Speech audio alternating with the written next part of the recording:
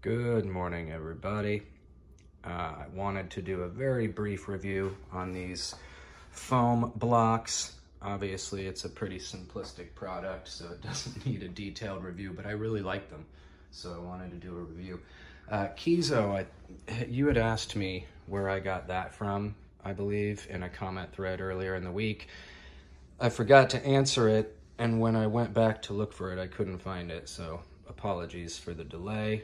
Amazon. They're all from Amazon. If you type in gun block stand, you'll find all these on the first page or two. Uh, I wasn't, I didn't really, I was impatient when I bought this. I should have just looked a little deeper to find these. Um, I just don't like the look of it. And it's plastic. They, you're supposed to fill it with sand or water, but you don't need to. It's stable without it. The foam blocks are even lighter than this. But when I found these, I just liked the uniform look. Uh, this pair was, I think, 23 or $24. This pair was a little more, a hair under 30. Um, obviously, this one, even when it's up on end, it's a little shorter than these foam blocks.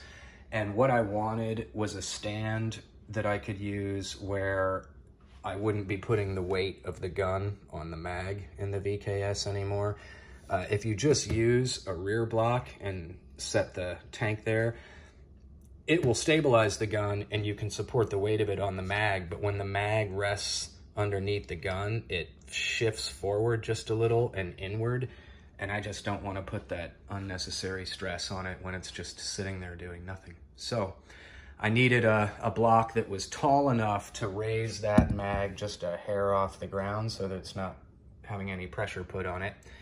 And these were fine on the front end because I have that little rail there that just gives me the slightest quarter inch of raise, which gives me that. But on the rear, I needed to put a little piece of foam in there so that the gun would be level. But it works. I really like them. Uh, I really like these blocks for the FN303 because it's been a bit of a challenge finding a way to mount these on a, on a gun block you can't just put the, the rear on a block and have it be stable. And even if you have one in front and one in back, it still wants to lean to one side due to the weight of the tank.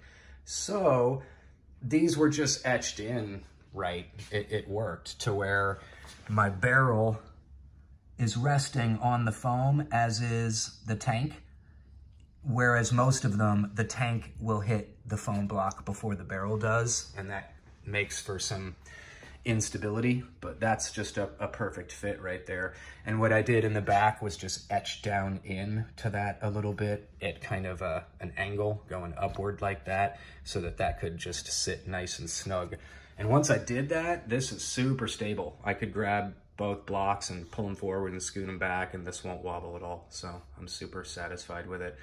I've got one more coming in the mail to set another one of these FN303s on and I've got several of these coming uh, for my other VKS builds.